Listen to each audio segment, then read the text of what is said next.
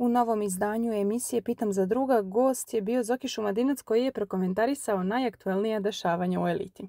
Najprije se osvrnuo na turbulentnu vezu Mione i Ša koji su i sinoć imali žestoku raspravu zbog njenog bivšeg dečka Stanislava Krofaka, a mnogi smatraju da je njihova veza najtoksičnija od svih u realitiju.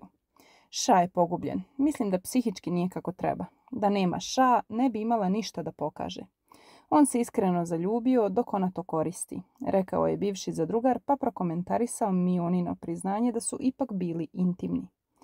Mislim da nema emocije. Siguran sam u to. Juče je Milan Milošević nju pitao kakav je odnos sa Ša, odnosno da li je toksičan, a ona je rekla da nije. Ona ni ne zna šta je toksičnost. Ona je glupa. Možda ne zna šta znači ta riječ, rekao je Zoki Šumadinac u emisiji Pitam za druga.